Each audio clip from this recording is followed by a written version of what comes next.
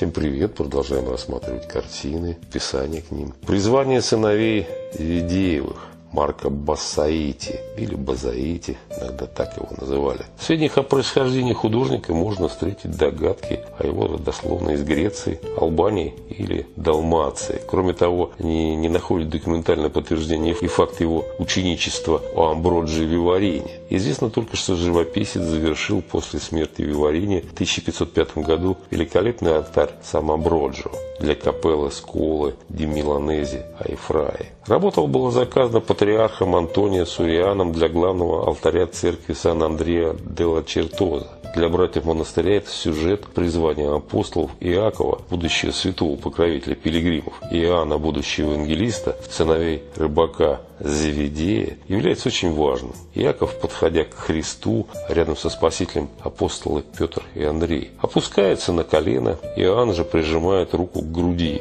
жест, который можно найти у Басаити в композиции «Тайной вечери». Ловцами человеческих душ станут сыновья Зеведеевы по призыву из благословения Сына Божия. Сцена Священного Писания написана как реальная, происходит в пространстве умиротворенного романтического пейзажа, в котором на фоне всех оттенков синего моря, неба, гор, молчаливо защищен от мирской суеты обитель праведных картезианцев. Именно от этого латинского слова произошло итальянское чертоза, означавшее монастырь ордена картезианцев. В Венском музее находится маленький вариант работы, созданный в 1515 году. Вот такое описание нашел к работе Марка Басаити, Базаити, «Призвание сыновей Зеведеевых», 1510 год. Пока-пока, до свидания.